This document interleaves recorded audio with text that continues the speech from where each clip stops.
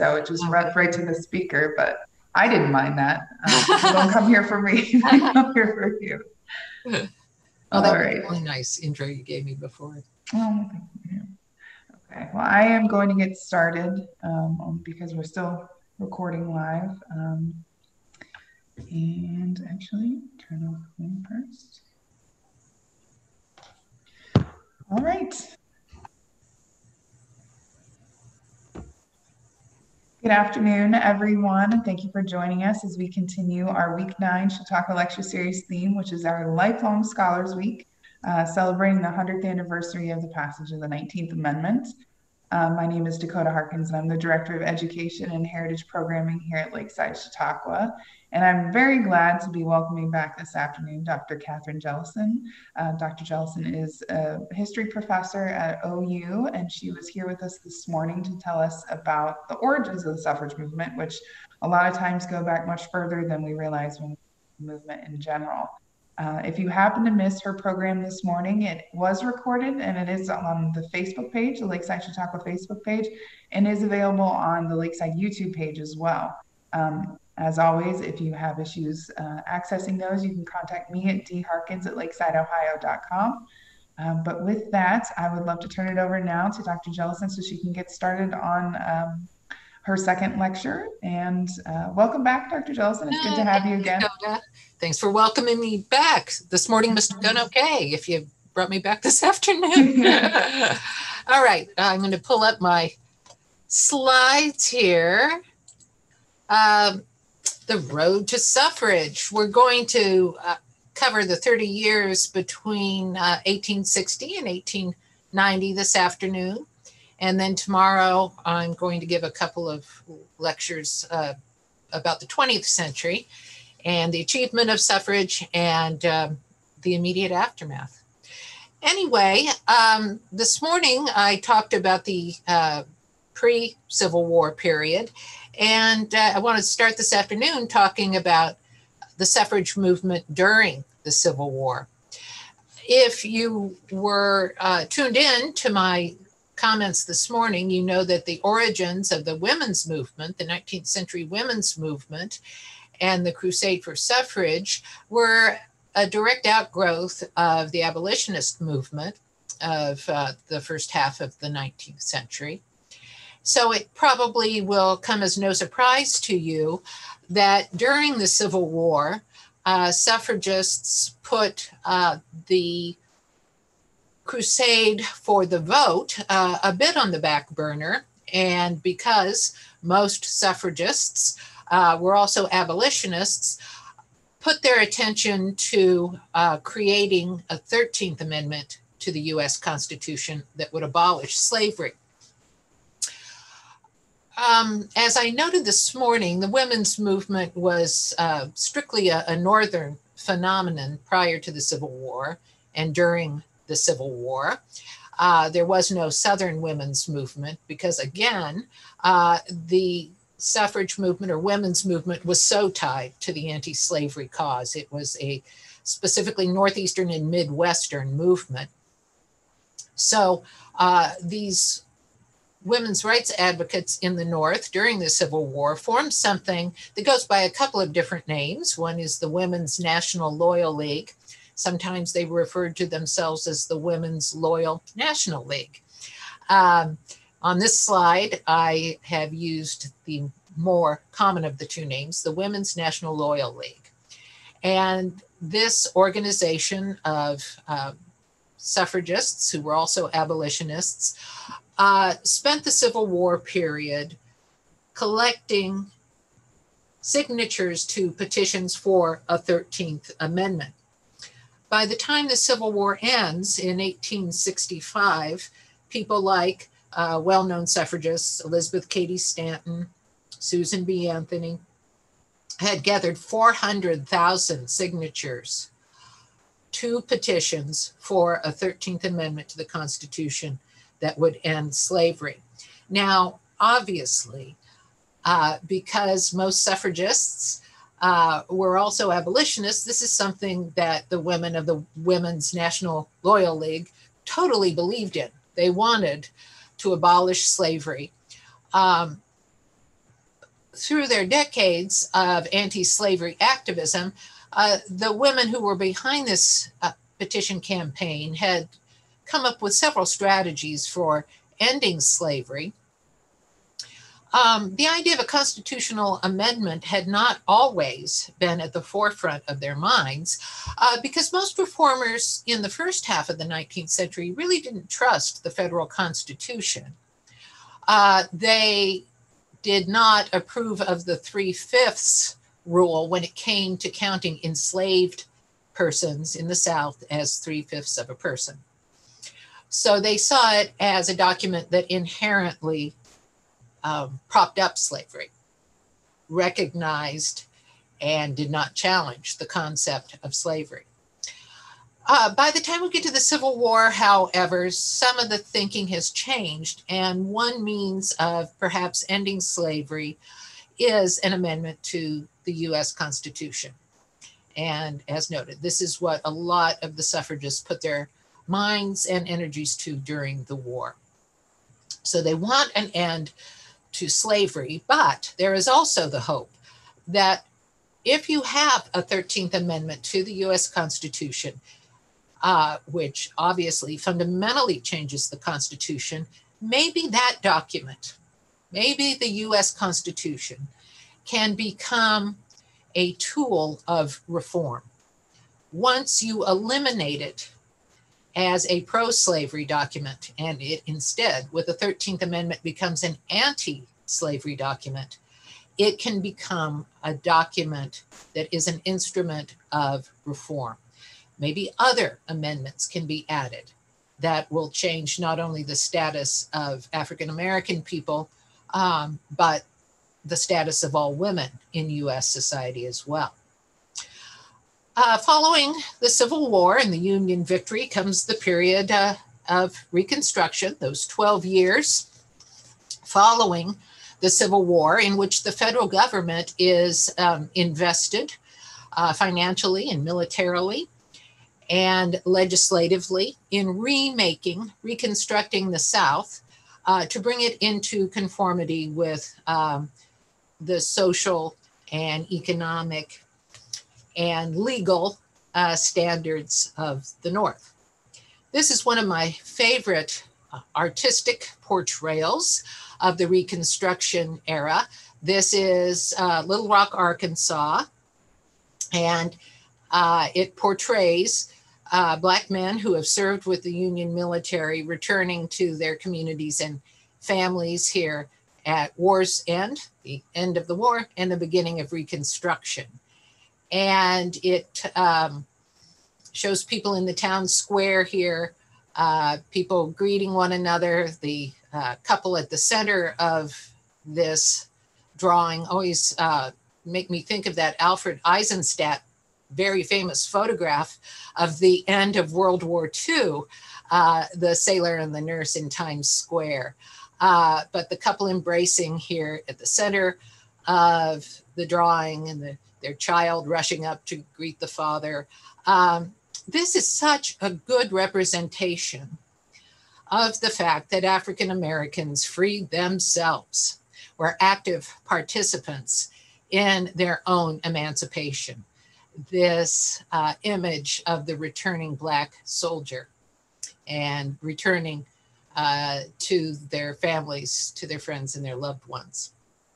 What will this period of reconstructing the South mean for African Americans as well as other uh, denizens of the United States? Well, first of all, we do have 13 uh, the 13th, 14th, and 15th, excuse me, amendments to the Constitution that come to us via uh, the project of Reconstruction. Uh, the 13th Amendment ends slavery, 1865. The 14th Amendment, 1868, defines citizenship. The 15th Amendment, 1870, gives Black men the right to vote. And here is a cover illustration of the 15th Amendment from Harper's Weekly uh, showing a cross section of uh, Black American males voting uh, the farmer, uh, the businessman, uh, the union veteran lining up to vote. But notice, of course, the sex uh, it is all men because the 15th Amendment only grants men the right to vote. And it is that um, fact that will shape the suffrage movement through the remainder of the 19th century. The wording of the 15th Amendment um, and the understanding of the 14th Amendment uh, will have a definite influence on the suffrage movement going forward. Well, let's look at some of this language specifically. Uh, the 14th Amendment to the Constitution, 1868, all persons, all persons born or naturalized in the United States are citizens of the United States and of the state wherein they reside.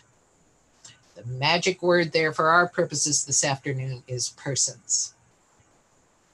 Of course, the 14th Amendment goes on to say no state shall make or enforce any law which shall abridge the privileges or immunities of citizens of the United States, nor shall any state deprive any person of life, liberty, or property without due process of law, nor deny to any person within its jurisdiction the equal protection of the laws.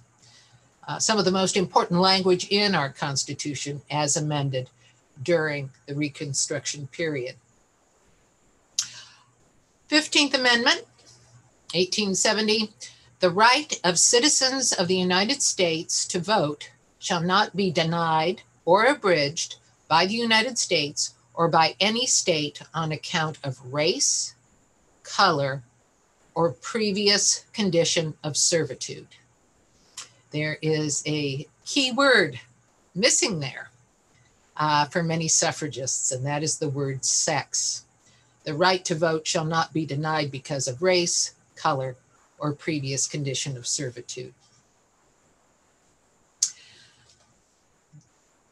The presence of these three amendments to the Constitution, the 13th, 14th, and 15th Amendments, caused suffragists and other 19th century reformers to look at the Constitution in a new way. Will the Constitution now be the right to expanding freedom. And freedom for whom? For African Americans. This is an illustration of the 15th Amendment. And in many ways, an illustration of what Reconstruction meant to Black Americans. Uh, it meant education. You see down here in the lower left hand corner. Uh, it had been illegal during slavery for enslaved persons to learn to read and write. Now, children and adults are flocking uh, to schools to gain that education that had been not denied them for so long. Legal marriage in the next image down there at the bottom. Um, I tell my students there are two activities uh, that former enslaved people rushed uh, to embrace. One was education, the other was to give their committed relationships legal standing for the first time because during slavery, enslaved people's marriages did not have the recognition by law. And various of the other uh, components of African American life that are illustrated here in this um, image celebrating the 15th Amendment. Uh, political participation, office holding, military leadership, uh, all of these activities that had been denied the majority of African Americans, uh, they now rush to embrace. And with the power and influence of the federal government behind them, African Americans, the large majority of which still live in the South at this time, uh, with the federal government occupying the South, uh, with the federal government having influence in the former Confederacy, these goals can become realities. But not only is this uh, particular image that's celebrating the 15th Amendment uh, telling us, uh, looking at it, uh, and certainly people who looked at it at the time in 1870, the message is not only these are activities that are occurring now during this period of Reconstruction, these first 12 years after the Civil War, but these are the possibilities going forward. We will continue uh, to have full citizenship rights now that Black men, like white men, have the right to vote in US society. But uh, as we know, when Reconstruction ends, the federal government loses interest in remaking the South. Part of a political compromise coming out of the election of 1876. And uh, the Reconstruction reforms don't have permanence. And contrary to the language that you just saw on your screens and I just read to you, saying uh, that no state shall be able to abridge these uh, federally granted through the US Constitution uh, rights of citizenship. No state is supposed to be able to do that. Uh, but when Reconstruction ends in 1877, that's exactly what happens. And we have um, state and local governments in the South being, um, to use the term of the time, redeemed uh, by former Confederates and the rights that were supposedly granted by constitutional amendment being taken away. And it won't be, of course, until the civil rights movement of the 1950s and 1960s uh, that those rights will be restored through most of the South. Uh, at the time, however, at the time that the Reconstruction Amendments become part of the Constitution, there is the belief that there is permanence here, that these are permanent reforms. And many uh, suffragists say and this is the way. This is the way to do it. This is the way to bring about reform and permanent reform, to bring it about through the US Constitution. But there is um, a division in the suffrage community. There is a division in the women's rights movement over the wording of this 15th Amendment to the Constitution. Uh, will it and the other Reconstruction amendments changed life permanently for African Americans and for all women. That remains to be seen. The 15th Amendment is embraced by one faction of the women's movement they don't like the idea that uh, that word sex has been left out of the 15th Amendment. Uh, that is only granted Black male suffrage, but they will still endorse the amendment. And that faction of the women's rights movement is headed by the woman you see here on your left, Lucy Stone, and her husband, Henry Blackwell. They are longtime uh, women's rights advocates and abolitionists. And they will not renounce the 15th Amendment, even though women have not been included in that amendment. And they form an organization here in 1869 as the amendment is about to, in the following year, 1870, become part of the Constitution. Uh, Lucy Stone and her husband, Henry Blackwell, form an organization known as the American Woman Suffrage Association. The American Woman Suffrage Association. If you're wondering why they have two different last names, again, like so many of the people I talked about this morning, they were way ahead of their time. Um, when they married, she said she would uh, keep her original surname, and uh, her new husband, Henry Blackwell, was fine with that. So, uh, here in the middle decades of the 19th century, a married woman who kept her original surname was called a Lucy Stoner uh, because she was following in the footsteps of Lucy Stone. Um, so the American Woman Suffrage Association is pro 15th Amendment. We endorse it. Um, and rather than look to the Constitution uh, to give women the right to vote, we will work by changing voting laws state by state, take a state by state approach. That is the stance of the AWSA, the American Women's Suffrage Association, under the leadership of Lucy Stone and Henry Blackwell. Uh, we want women's suffrage. Uh, disappointed in the wording of the 15th Amendment, but we will endorse it because we, you know, we feel very good about it in, term, in terms of giving Black men the right to vote. Uh, so we will take a different tact to try to get women the right to vote. We will do that by changing laws uh, at the state level one at a time. The other uh, competing branch of the women's rights movement uh, here during the Reconstruction era is founded by Elizabeth Cady Stanton here at the left in the photograph on your right. And uh, to her left, your right, is Susan B. Anthony. They form an organization called the National Woman Suffrage Association.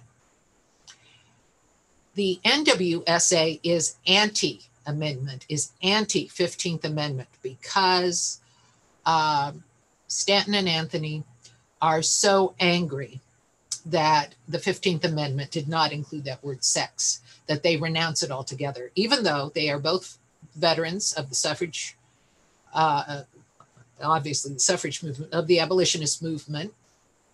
And they had been among those who had gathered those 400,000 signatures uh, to end slavery with the 13th Amendment. So uh, they have been uh, strong proponents of Black rights, but are really angry that only Black male voting rights were recognized in the 15th Amendment. Here was an opportunity to expand suffrage, to expand the franchise to all adult citizens, and only Black men received that right. Um, there was a famous exchange between Elizabeth Cady Stanton and uh, a member, a famous member of Congress at this time, Charles Sumner of Massachusetts. Uh, a long time uh, ally of Elizabeth Cady Stanton in the abolitionist movement and in the women's movement. And when she, uh, Elizabeth Cady Stanton, protested the wording of the 15th Amendment, saying, you know, what what is granted to women here? Nothing. Nothing is granted to women here. Sumner says to Elizabeth Cady Stanton, this hour belongs to the Negro. You know, we just fought a civil war for black rights, in other words. This hour belongs to the Negro.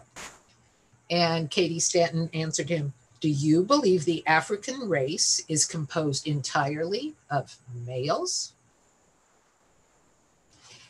In fact, one might argue that the people most in need of voting rights uh, coming out of the Civil War and into the Reconstruction period were Black women. Women who were doubly discriminated against because of race as well as their sex. But Black women and all women are left out of the 15th Amendment. So Stanton and Anthony say, we will not endorse the 15th Amendment. Yes, uh, we are longtime advocates of Black rights, but this amendment didn't go far enough. We renounce it. And instead, we are going to work for a federal uh, Constitution amendment that grants all women the right to vote. So um, the American Women's Suffrage Association, AWSA, pro 15th Amendment, as the final wording has it, black male suffrage. The National Woman Suffrage Association, the NWSA, headed by uh, Elizabeth Cady Stanton, and Susan B. Anthony, anti 15th Amendment because women weren't included. The AWSA, we will still achieve women's suffrage, but we will do it changing state law by state law, working through state legislatures. The NWSA, no, constitutional amendment. A constitutional amendment that grants voting rights to all adult citizens. Now, I read, shared with you the language of the 14th Amendment. All persons born or naturalized in the United States are citizens. That language became um, something that members of the NWSA took very serious note of and said, well, if all persons, and it doesn't say male persons in that first part of the amendment, just persons, uh, all persons who are born in the US or have achieved naturalization or citizens and they're entitled to all rights of citizenship, maybe that gives a little entree for women to vote. Okay, we were left out of the 15th Amendment, but that all persons language in the 14th Amendment says, hey, we women are citizens. Let's test that and see if rights of female citizenship can encompass the right to vote. All right, so um, 14th Amendment, 1868, all persons born or naturalized in the US are US citizens. 15th Amendment, person cannot be denied voting rights on the basis of race, uh, color, previous condition of servitude. Um, the next election after uh, the 15th Amendment, next presidential election after the 15th Amendment has become part of the Constitution, is the presidential election of 1872. And so members of the NWSA decide we're going to test the 14th Amendment and see if it can possibly be stretched to allow women voting rights, even though they were left out of the 15th Amendment. So, a variety of members of uh, the NWSA uh, National Woman Suffrage Association around the country decided to test that premise that if women are citizens, they automatically should have the right to suffrage. And uh, women who were affiliated with the NWSA attempted to register to vote or actually to vote in the presidential election of 1872. Um, among those who uh, attempted to vote in the 1872 presidential election was Susan B. Anthony herself, back in her hometown of Rochester, New York. Uh, she was arrested uh, for voting and uh, was uh, required to pay a fine. Another woman uh, affiliated with the NWSA is a woman named Virginia Minor, who lives in St. Louis, Missouri. She, in fact, is the president of the Missouri branch of the NWSA, Virginia Minor. She doesn't make it as far as uh, Susan B. Anthony did in Rochester, New York. Susan B. Anthony, uh, I guess, uh, when she went to register to vote, found a very um, understanding registrant who let her register, but uh, then she got in trouble when she actually uh, cast her ballot at the polling place. Uh, Virginia Minor, however, uh, went to her uh, local uh, election office and attempted to register to vote in her hometown of St. Louis, Missouri, and was denied by uh, the man who was uh, the registrar, a man named Reese Happersett. Um, so, Virginia Minor testing the 14th Amendment. Hey, I'm a citizen. 14th Amendment says if you're born in this country, and I was, you're automatically a citizen, birthright citizenship. I have that. I'm going to see if that automatically allows me the right to vote. I go to register, me, Virginia Minor, uh, and Mr. Reese Happersett says no. As a woman, you cannot register to vote. So, Virginia Minor and her husband sue Reese Happersett in um, a court case that eventually makes it all the way to the Supreme Court and goes by the name Minor v. Happersett, uh, decided by the US Supreme Court in 1874. I will sue uh, Reese Happersett for denying me my right as a, an American citizen under the 14th Amendment to vote. That is Virginia Minor's argument in not allowing me to register to vote, Reese Happersett of St. Louis, Missouri, the registrar at my election office when I went to register to vote, He has denied me one of my rights of citizenship under the 14th Amendment. Of course, it takes a while uh, once a suit has been filed to make its way through the court system and end up at the Supreme Court. Um, it's a couple of years after the 1872 election that the Supreme Court decides unanimously in its 1874 Minor v. Happersett decision that Virginia Minor, Susan B. Anthony, no woman citizen automatically has the right to vote even though the 14th Amendment has defined citizenship. And if you are a woman who was born in the US, you're automatically a US citizen. Um, that doesn't mean you're automatically, once you reach adulthood, a voter.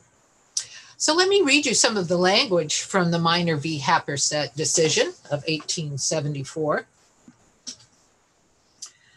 Uh, as I said, was a unanimous decision. The closing language of the decision is this For nearly 90 years, the people have acted upon the idea that the Constitution, when it conferred citizenship, did not necessarily confer the right of suffrage. Okay?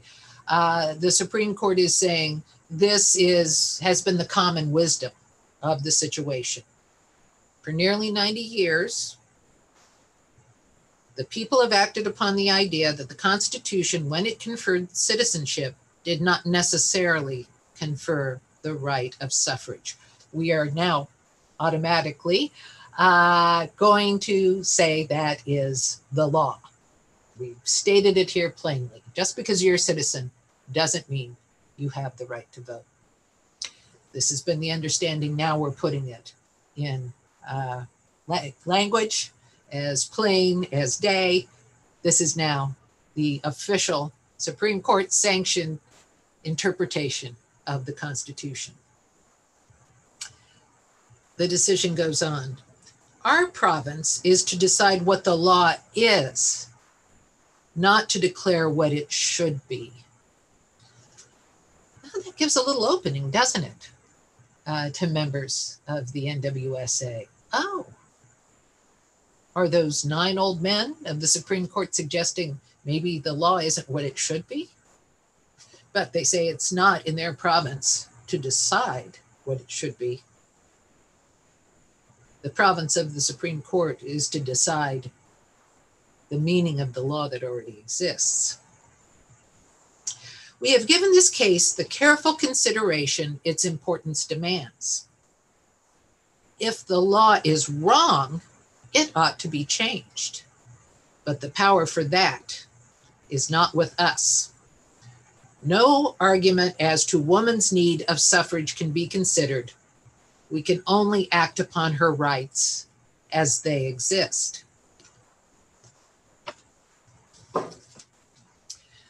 We can look at the language of the Minor v. Happersett decision and say it was a defeat for Virginia Minor and other members of the NWSA, they were told, yeah, you're citizens under the 14th Amendment. Earlier in its decision, the Supreme Court said, oh, Mrs. Minor's citizenship was never in doubt. We recognize she's a citizen, but that doesn't automatically make her a voter just because she's a citizen. But if the law is wrong, it ought to be changed. If the law is wrong, it ought to be changed. But that's not our job as members of the Supreme Court. But that certainly seems to leave the door open. Is the Supreme Court, in fact, saying, hey, women of America, if you want to change your status, if you want women's citizenship to also mean that women are voters, maybe the law ought to be changed and maybe the Constitution should be changed. So, in some ways, uh, this decision, Minor v. Happersett in 1874, gave members of the NWSA their marching orders. Go ahead, change the Constitution. That is certainly the way that uh, the leaders of the NWSA, Elizabeth Cady Stanton and Susan B. Anthony, read this decision. We must go forward and change the Constitution in a way that the Supreme Court justices can never deny an adult woman citizen the right to vote, that it's going to automatically be the case. Not that you're a citizen, but if the Constitution doesn't spell it out, you're a voter. But instead, you're a citizen and the Constitution does spell it out that you're a voter automatically. And this intensifies the determination of Cady Stanton and Anthony. We need a constitutional amendment to the US Constitution. Now, how will the women of the NWSA, how will they convince new male allies in Congress uh, to support such a proposition that there should be a federal amendment guaranteeing women the right to vote. We can't rely on our old allies in the movement for a 13th Amendment. If Charles Sumner, of all people, the uh, closest male ally we had in the US Congress, the most pro woman ally, the most pro woman's rights ally in the US Congress says it's the Negro's hour. And by that, he means it's the black man's hour. We have to start finding new allies. Sumner can still be a political ally with Lucy Stone, with Henry Blackwell, with the AWSA uh, members who support the 15th Amendment and say it's fine that it's black male suffrage. We, members of the NWSA, looking for a women's suffrage amendment to the Constitution, we're not going to trust those white office holders who were with us in the abolitionist movement said they were pro women, but wouldn't put such language in the 15th Amendment. We have to look for allies elsewhere. Well, where is that going to be as Reconstruction nears its end? Here in 1876, the United States is uh, about to celebrate its centennial. When I speak to my students about the uh, centennial celebration in 1876, I'm, of course, talking to people who weren't around at the time of the bicentennial celebration in 1976. But uh, here with my Lakeside Chautauqua audience, I'm sure many of you were. Uh, of course, we were in the age of television um, and uh, jet travel, and we had a, a, bicentennial celebration in 1976 that was truly national in scope. We would you know, watch programming about uh, the founders of the nation on TV. Um, I remember my family uh, took a trip. I grew up in Kansas, but we took a trip all the way out to Williamsburg, uh, Virginia to tour um, Williamsburg as part of our summer of 1976 celebration. It was a nationwide celebration. Uh, given the realities of communication and transportation technology in the 20th century. In the 19th century, however, the centennial celebration, the 100th anniversary of the founding of the US, was very much centered in the city where uh, independence was declared, the city of Philadelphia. So all roads led to Philadelphia in 1876. The celebrations surrounding the centennial were all centered in that city.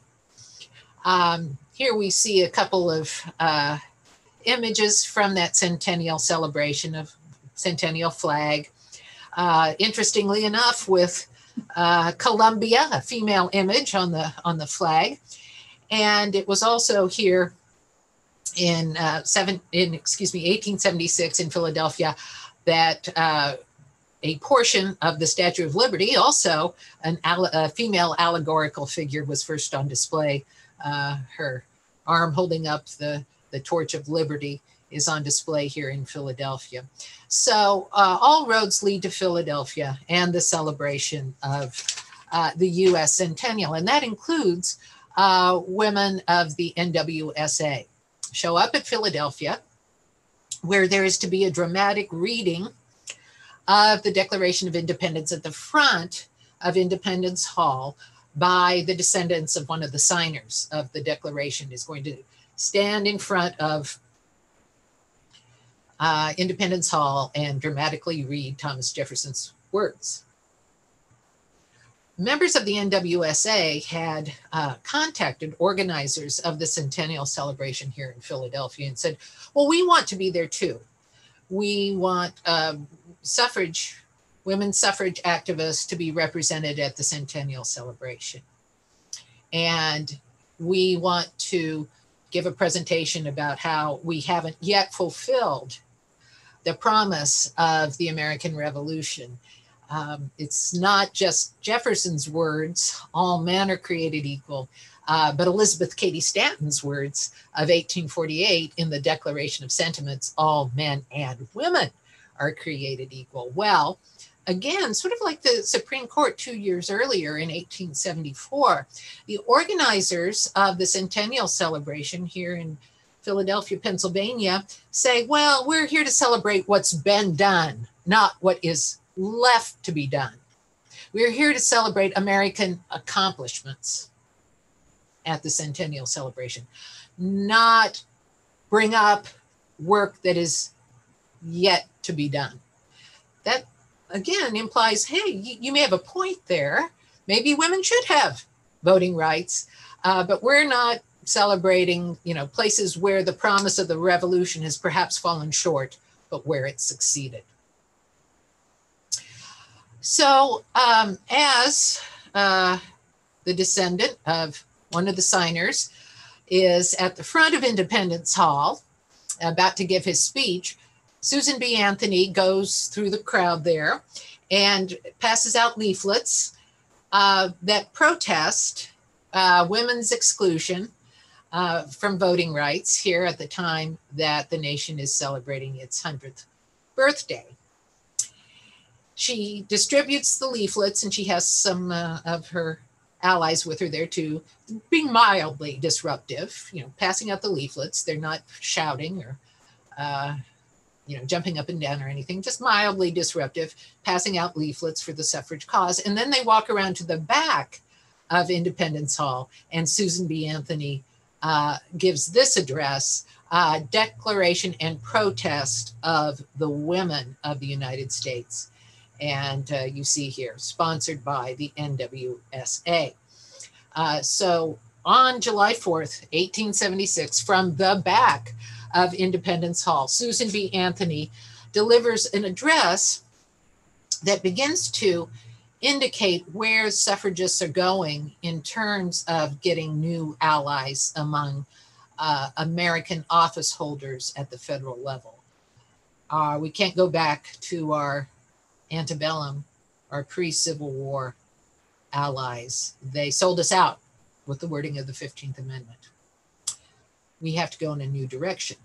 Now, although it's Susan B. Anthony who delivers the address, it has largely been written by her close colleague, Elizabeth Cady Stanton.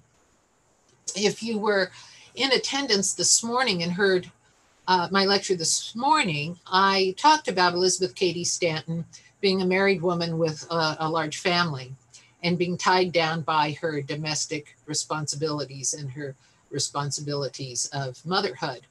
Susan B. Anthony never married. And so, although she was the public face and voice of the NWSA, the, the words that she often shared on those occasions when she was out uh, speaking publicly, and again, she's a Quaker. Susan B. Anthony is a Quaker.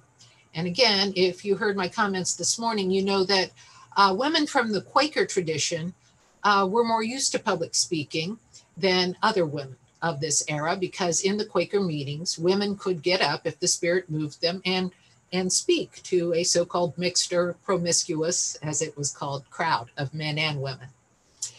Uh, because there was no formal uh, clergy in uh, the Quaker religion, the Society of Friends, men or women could get up and speak at meetings. And some became very famous women preachers, such as uh, Elizabeth Cady Stanton's mentor, Lucretia Mott. Susan B. Anthony is from that religious tradition. She's used to women getting up and, and speaking. She was not as comfortable uh, in that role as uh, Lucretia Mott had been, but um, she got out there and she did it. But her uh, words were often written by Elizabeth Cady Stanton. Cady Stanton, who couldn't get away uh, from her domestic responsibilities, uh, would write the words. She was the ideal woman uh, for the 19th century suffrage movement as a whole. She was the leading intellectual light of the movement, and particularly for those suffragists who are affiliated with the NWSA, those who want a constitutional amendment granting women suffrage. So she writes these words, uh, but it's the single woman who uh, can travel around, doesn't have the domestic responsibilities. It's Susan B. Anthony who delivers these words. And um, there is reference made in this speech of July 4th, 1876, to the Minor v. Happersett decision. There is reference made to uh, the revolutionary generation. There's reference made to Abigail Adams, as Susan B. Anthony speaks here. Abigail Adams, the wife of one president and mother of another, uh, had said, uh, You should remember the ladies, right? Uh, she had written from Braintree, Massachusetts in July of 1776 to her husband in Philadelphia, Remember the ladies. She was asking that those British common law customs of coverture that I spoke about this morning be renounced uh, in the Declaration of Independence. Of course, that didn't happen. So Anthony makes reference here, speaking the words of Elizabeth Cady Stanton, to US history, now celebrating its centennial. She makes reference to current events, to the Minor v. Happersett decision of the Supreme Court only two years earlier. Of course, she comments on that decision unfavorably. She notes that a new state has entered the Union here in 1876, Colorado. Like all her elder sisters, comes into the Union with the invidious word male in her constitution. Male citizens only will have the right to vote. So she makes many references here uh, to current events and to history. But here is some of the problematic language that is now finding its way into the rhetoric of the suffrage crusade. Our faith is firm and unwavering in the broad principles of human rights proclaimed in 1776, not only as abstract truths, but as the cornerstones of a republic. Yet, we cannot forget, even in this glad hour, that while all men of every race and clime and condition have been invested with the full rights of citizenship under our hospitable flag, all women still suffer the degradation of disenfranchisement. Hmm. All men of every race clime, and condition. Every race, black men. Every clime, maybe Southern black men. Um, maybe men who have come from the other side of the world, an entirely different climate. Maybe immigrant men who have been naturalized. Men of every condition. Maybe that condition is that of being a former slave. But women, all women are denied the right to vote. See, this language today may begin to strike us as racist, as nativist. These are rhetorical strategies that start creeping into the suffrage movement as Reconstruction nears its end we see that portion of the suffragists who have aligned themselves with the National Woman Suffrage Association, we see them start courting white lawmakers from the South. People who, like them, members of the NWSA, are disappointed in the language of the 15th Amendment, although for different reasons. White Southern lawmakers are disappointed because any blacks have been given the right to vote by the 15th Amendment.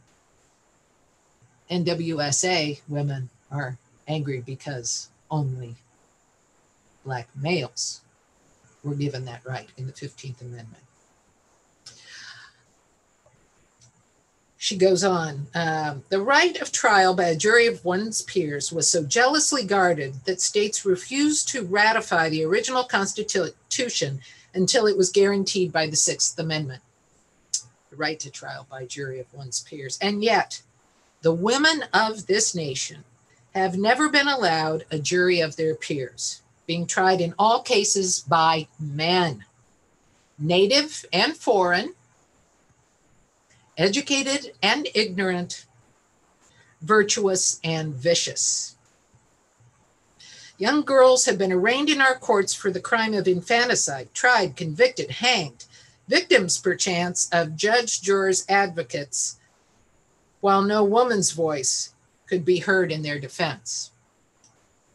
She brings up a uniquely female crime of um, infanticide to cover uh, the reality of an unwanted pregnancy. And yet, if a young woman is brought up on charges that um, she murdered her baby from an unwanted, uh, very likely um, outside a marital relationship pregnancy, there are not going to be any sympathetic woman jurors. Jury pools are pulled from the voting rolls, only men are on the voting rolls, and the problematic language, and what kind of men. It could be any kind of man. Ignorant, foreign born, vicious.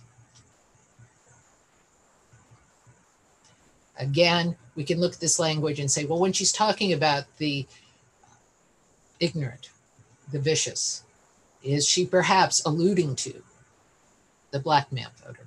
Obviously the foreign born, she's referring to immigrants. So again, elements of racism and nativism are creeping into the suffragist vocabulary, particularly the suffragists aligned with the NWSA.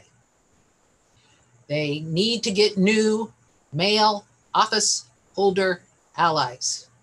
We have to look to the former Confederacy and of course, the year after she speaks these words uh, is the last year of Reconstruction. The last of the federal troops come out of the South, and Reconstruction comes to an end. And the federal government is no longer enforcing the reforms of the Reconstruction period. And many former Confederates, calling themselves redeemers, uh, redeem uh, their power in the South uh, and in those uh, Southern delegations that are sent to Washington. So we see some very, very unfortunate language enter the suffrage movement out of uh, this mindset that we have to look for new allies. And they may be allies who wanted nothing to do with us before the Civil War. In fact, stood against everything we were for were proponents of slavery, not enemies of slavery. There's that old saying politics makes strange bedfellows. Uh, that is the risk, apparently, Stanton and Anthony and others affiliated, many others affiliated with the NWSA. That's a risk they're willing to take. Um, adopt this problematic language that obviously is going to alienate Black women. Uh, you know, Sojourner Truth lived several years beyond this speech that Susan B. Anthony gives at the time of the centennial celebration. Will people like her feel welcome in the suffrage movement? Any longer once language uh, such as expressed here in this centennial speech. Once language like this is being used to try to attract new allies in the suffrage struggle. Now, what Stanton and Anthony are betting on is that white male lawmakers from the South will, um, for the first time, be in favor of women's suffrage if they think of women's suffrage specifically as white women's suffrage. That they will be pro suffrage if their idea of the woman voter is the white woman voter. So, although um, increasingly, as the 19th century continues, Susan B. Anthony, who's the one out there being, as I said, the face and the voice of the NWSA, even though the words uh, oftentimes have been originally written by Elizabeth Cady Stanton, Susan B. Anthony uh, will, when she's in the North giving speeches, uh, talk to integrated, racially integrated audiences, and uh, will spend time with Black uh, suffragists such as Ida B. Wells. Um, they were friends and uh, allies, but she never talked about her friendship, Susan B. Anthony, uh, with Ida B. Wells, famous Black uh, woman suffragist, uh, journalist, would not reference the fact that they were uh, friends and allies in reform when Susan B. Anthony was in the South. And when she was in the South, she spoke to segregated audiences. It was um, a case of uh, the NWSA having sort of one face in the North and another face in the South. Um, but either way, Black women are feeling uh, less inclined to see this as a movement in which they are 100% welcome, although that does not deter many Black women from remaining in the suffrage movement. So, although this, this morning I was talking about the origins of the suffrage movement and Black women being there from the beginning, and the white women in the movement also embracing sisterhood with Black women, that's going to fall apart here in Reconstruction. This divide caused by the wording. Um, well, not caused by the wording of the 15th Amendment, but reaction to that wording. So it's not that members of the NWSA and its leadership, Stanton and Anthony, it's not that they exclusively used nativist and uh, racist rhetoric in their public pronouncements. Um, I'm sitting here at my office at Ohio University, and I'm not far away, uh, just about halfway across campus, is uh, this plaque you see here on the right commemorating uh, Susan B. Anthony's speech here in Athens, Ohio, a couple of years, a little over two years after she gave her centennial speech in Philadelphia. She comes here to Athens. Uh, she's on a speaking tour here in the Midwest, and she gives a speech at uh, the Athens City Hall. The photograph of her here at the left is about what she would have looked like here in 1878. She speaks at Athens City Hall, October 19th, 1878. And uh, I looked through uh, the OU and Athens archives at uh, the university library doing research on this speech, and none of the sources that I found uh, that recreate portions of this speech show Anthony um, engaging in any of that problematic rhetoric. Uh, no words that we would look at today and say, hey, that has at least racist overtones. Uh, oh, uh, that is outright nativist language. No, we don't see that. Instead, the um, address that she gave here in Athens was entitled Woman Wants Bread not the ballot. That was the title of her speech. And of course, uh, that was a speech with a provocative title. You know, she's hoping to attract people. Oh, Susan B. Anthony, one of the most prominent activists in behalf of women's suffrage says woman wants bread, not the ballot.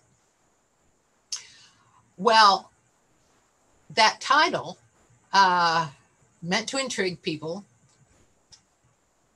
urge people to show up. What will she be talking about? Provocative title here. Um, was misleading, of course, because her speech was all about women do want the ballot, but they want the ballot not as an end in itself, but because it will provide uh, for greater equality and dignity in all aspects of their life. And this goes back to that Declaration of, of Sentiments document I discussed this morning with all of its many resolutions uh, for changing women's status in US society. And as you recall, one of the resolutions was that a, wo- a woman and women uh, should be able to pursue the same kind of wage earning opportunities as men. And so, with this title, Woman Wants Bread, Not the Ballot, it was uh, the idea expressed that if women had the ballot, they would be able to uh, achieve a better status in American society, be better able uh, to make an independent wage. And this would be something that, as a single woman, uh, Susan B. Anthony uh, would be very concerned about. And so uh, she's assuming people will understand that. Uh, she had been a school teacher uh, earlier in her life, which was the um, dominant middle class type of employment for unmarried women. Uh, so she'd been a school teacher, but that really uh, was not a vocation she had enjoyed. what if she could have been a lawyer, a doctor, uh, a college professor, uh, if she had been able to uh, be employed in a type of work that middle class men had access to. So she's talking about if women get the ballot, they can better ensure they have greater equality with men in wage earning, in access to higher education, and all these other ways uh, that women that women are demanding, uh, did demand in the Declaration of Sentiments. We want equality with men in all these walks of life. Why are we so focused on the ballot? Because if we have the ballot, we can better ensure that we have these other equalities with men. Um, once we have the ballot, everything else has the possibility of falling into place if women have that political empowerment. So it wasn't exclusively nativist or racist language that finds its way into the post Civil War rhetoric of the suffrage movement, but it is there. Let me show you um, a poster of the late 19th century.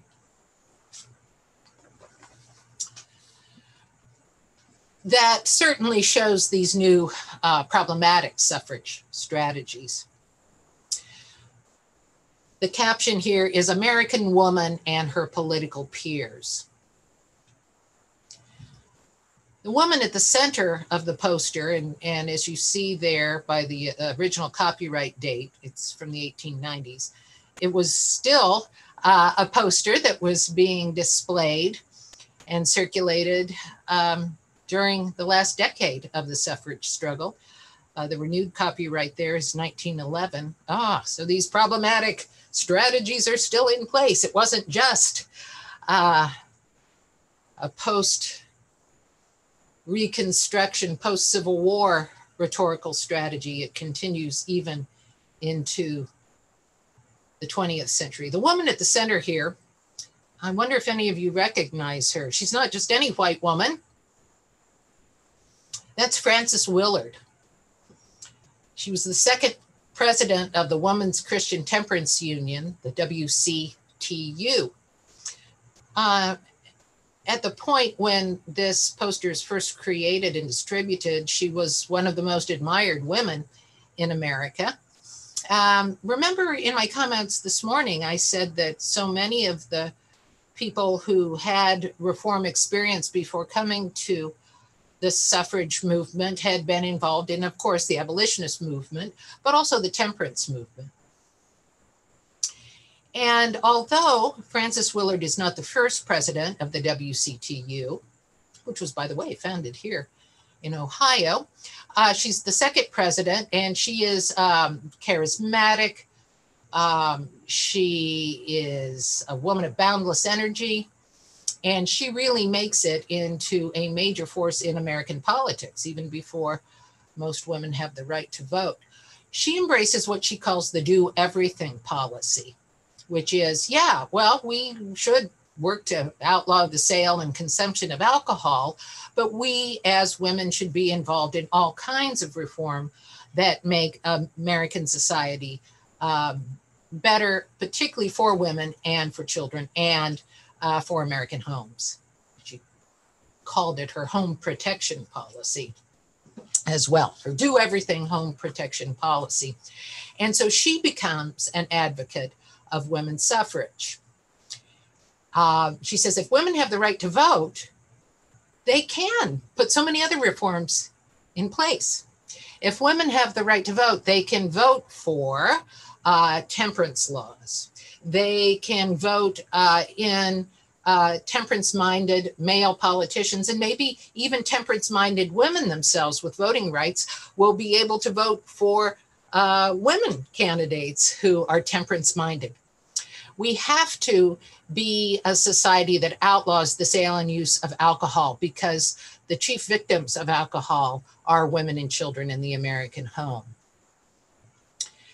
Um, this is long before alcoholism is recognized as a disease. That won't be until the 1920s. Instead, if a person drinks to excess, uh, he and it, the the person who is an alcohol abuser is very much gendered masculine. He is um, a person of lax morals. It's not that he has a disease, that wasn't understood at this time. Um, the drunkard, as he was called, the drunkard has failed morally. And he spends his paycheck on booze instead of paying the rent or paying the mortgage. And if he comes home drunk, he may beat the children, he may beat his wife. So Frances Willard says the Woman's Christian Temperance Union must embrace suffrage so we can vote in so called dry candidates, anti liquor candidates, so we can vote in laws that outlaw the sale and use of alcohol. And actually, the largest women's suffrage organization by the time we get to the 19th century is not the NWSA or the AWSA, what have become single issue organizations, right? Remember that broad list of demands from the Declaration of Sentiments. It's become more narrowed now to the vote, right? That speech that Susan B. Anthony gave here in Athens, Ohio. If we get the ballot, then we'll get all those other things, those things that we so desperately need access to a better wage, access to a better education, etc. But the Women's Christian Temperance Union becomes the largest women's suffrage organization. It's not a single issue organization. It is an organization that is primarily dedication, dedicated to stamping out alcohol abuse. But as a means to that end, it's a pro suffrage organization. Give women the ballot and they'll make this a dry country. So, by putting at the center of this poster uh, an image of Frances Willard, the head of the largest pro women's suffrage organization in the country is put at the center of this poster. She can't vote because she is a woman. Frances Willard, a woman, at the center of this poster, very admired woman, the state of Illinois in Statuary Hall, in the US Capitol, right? Every state gets two statues. Frances Willard's statue goes in there relatively early, uh, long before other states started putting um, images of women in Statuary Hall. The state of Illinois knows uh, Frances Willard is the most famous, uh, most influential woman uh, in the US in the late decades of the 19th century. Most famous woman in America, uh, most influential, head of the largest pro women's suffrage organization. She doesn't have voting rights. And here she is in the middle of this poster. And who are surrounding her? Her political peers. And if you read the fine print here, the language is very dated and very problematic. She is here classed politically with so called idiots, the image in the upper left, the convict, the image in the upper right, the insane, the image in the lower right, and the Indian, the image in the lower left. Now, my students oftentimes look at this poster and say, you know, we see some unfortunate caricatures here. The so called idiot, using the words of the 1890s, um, today we might say um, mentally challenged person, looks like a lot of the caricatures and cartoons of the 1890s of the Jewish immigrant. Is the so called idiot meant to represent the immigrant man? not yet naturalized and therefore does not yet have the voting rights that Frances Willard also lacks. But he can become naturalized, maybe. Um, but if we just read this language as it is and not think of the caricatures of the period and just say he's a mentally challenged person, the so called idiot, um, Here's the fine, upstanding, most famous woman of her generation, Frances Willard, and she's classed the same as a mentally challenged man. He doesn't have political rights. Neither does the convict, who my students say they believe is uh, very definitely represented as a black man. Again, um, black men have been given voting rights. Now, of course, if the black man has been convicted of a felon and he's a convict uh, of a felony, and he's a felon and he's a convict, he can't vote. But again, maybe some unfortunate um, racial themes coming into this poster. Uh, the insane man, you know, with the uh, crazy eyes and for some reason carrying around a battered hat on a stick. I suppose he's meant to be uh, rep- represent um, obviously a mentally ill person who just sort of wanders around and is unemployed uh, and living very much on the margins of society. Well, he uh, is not allowed to vote, but neither is a fine, upstanding middle class woman like Frances Willard and the American Indian. I mean, there's an obvious racial theme coming in here. Uh, this middle class white woman is classed uh, as being politically equal to an indigenous American who, at this point, um, the vast majority of Native American men do not have the right to vote. Neither does Frances Willard. So you see here some of the problematic racial, social, class, ethnic, nativist themes being played out in this poster. And these are some of the strategies that increasingly the suffrage movement is using. How can you deny the most fine, upstanding white woman the vote? You make her the equal of these problematic men. Um, again, by the standards of 2020, boy, these are um, distressing images. But it might also strike a black woman at this time as problematic a Native American woman, an immigrant woman, a working class woman, uh, where the face of suffrage is in this poster literally the white well educated middle class would be woman voter. So it's here as the 19th century is ending that we see the suffrage movement very much losing its original vision of suffrage for all women. Um, it is the white middle class woman, native born, who is being set up as the woman voter. Other women, if they're there at all, are placed in the background. And in my comments tomorrow about the 20th century uh, suffrage movement, I will uh, talk to you more uh, about those kinds of issues and problems in uh, the 20th century um, suffrage movement. Uh, only here as the 19th century is coming to a close and women's suffrage um, is still not a reality. A few states, Wyoming has granted women the right to vote, Utah has granted women the right to vote. But uh, as the 19th century is coming to an end, most American women still don't have the right to vote. That these two competing organizations come back together the American Woman Suffrage Association and the National Woman Suffrage Association merge. Neither one of us has accomplished here at Century's End uh, universal, which increasingly means white, uh, women's suffrage. Um, it, it isn't a reality. Um, we've been perhaps working at cross purposes.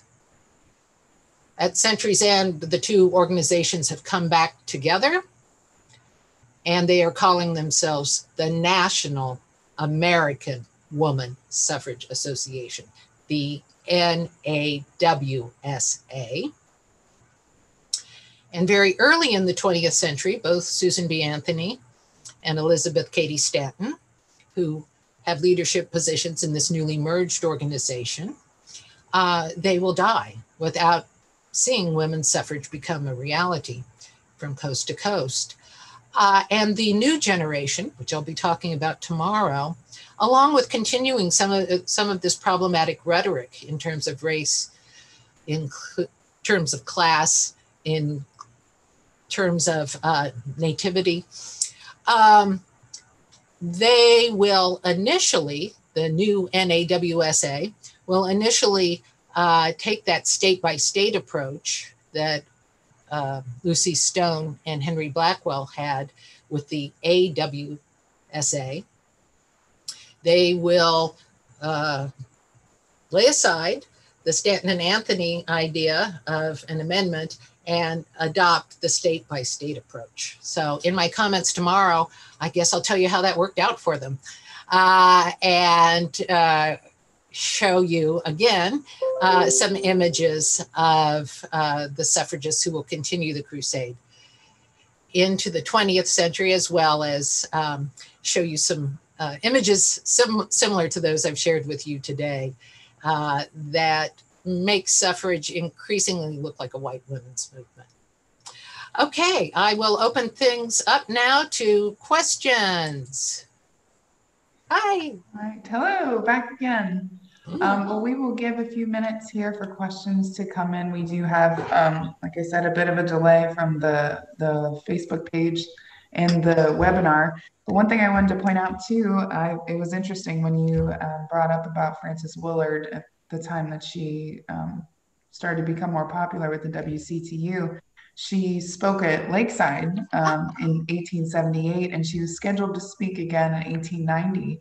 Um, and I'm interested to look into our archives to figure out why, but her program was canceled that year. Well, she dies uh, a young age, so she was not well, and and died shortly after.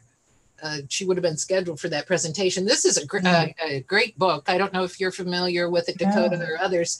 Uh, Sisters: The Lives of America's Suffragists by Jean H. Baker, and it uh, as as we see here, here's Frances Willard, um, Alice Paul. I'll talk about her tomorrow uh, Elizabeth Cady Stanton, Lucy Stone, and Susan B. Anthony.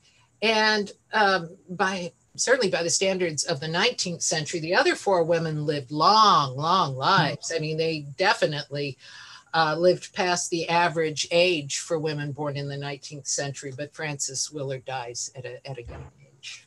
Mm-hmm, mm-hmm. And one other, um, I guess, interesting uh, note from Lakeside history, at least that ties in. Um, Susan B. Anthony spoke here at Lakeside as well. if she ever did. She did. And one of the really fascinating parts of that when I was first learning about it. Um, there's some funny stories, well, interesting stories that go along with it. But she was there filling in for Elizabeth Cady Stanton, uh, which was hilarious the first time that I read about it because I thought Susan B. Anthony as a fill-in is uh, oh, yeah. different, much different idea. Yeah. Um, and of course, again, to use that anachronistic term, um, what what year was Lakeside founded? 1873. 1873. Mm-hmm. Yeah, she's uh, herself becoming uh, an empty nester, uh, Elizabeth Cady Stanton, and so is getting out more and, and making more uh, public appearances herself. But she had some health problems. She uh, was overweight, and it became very mm-hmm. difficult mm-hmm. for her even after she w- didn't have the child rearing responsibilities. Um, it became difficult for her to travel because of her weight and um, health problems associated with that. Mm-hmm. Whereas Susan B. Anthony was uh, more was more of the ectomorph and uh, and didn't have the health problems. Didn't have those attached. Um, well, I think with all the information that you've given us just today, um, maybe what we'll do is we'll leave it open for everyone. If they have questions, they can come back with them again tomorrow. Uh, Dr. Jellison will be joining us again at 10:30 a.m. and at 1:30 p.m. tomorrow for two more lectures to continue this history. Um, as uh, Dr. Durack said yesterday too, there's there's so much here. There's so many characters at play. Um, so as we go along throughout this week, I'm sure that all of our speakers will be thrilled to answer any questions that anyone has. That's for sure. Okay. Well, thank you so much again for joining us, and thank you everyone um, who's been involved. And we look forward to seeing you again tomorrow. I'll be here. All right. We'll thank you. you. Bye, everyone.